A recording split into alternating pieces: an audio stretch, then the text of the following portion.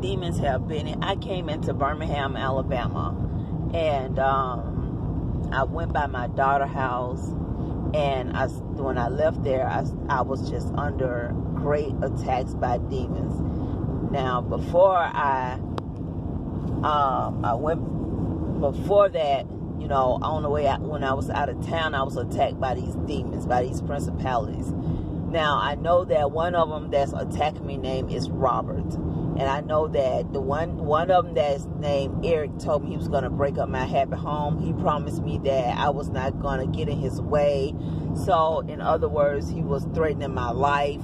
I've been dealing with one named Trayvon Anderson, just a whole slew of evil principalities. One of them, they, they are all in my car, all around me. They've been attacking me they set my house on fire today. I had got a good bath, and the Lord blessed me today.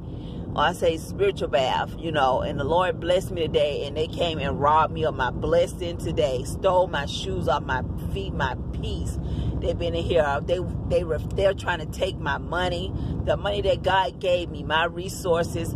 They're they they have trying to take over my credit cards, my bank account everything that I have. But the Lord rebukes you, Satan. The Lord rebukes you. Every last one of y'all. They got a lot of people working with them. One of them was um, this girl named Brittany.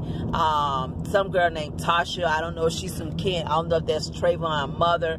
It's just a lot of them that's been doing a whole lot of evil to me and my children, trying to take over my children's house, my house, they are making deals with i heard they're making deals with police officers and stuff like that.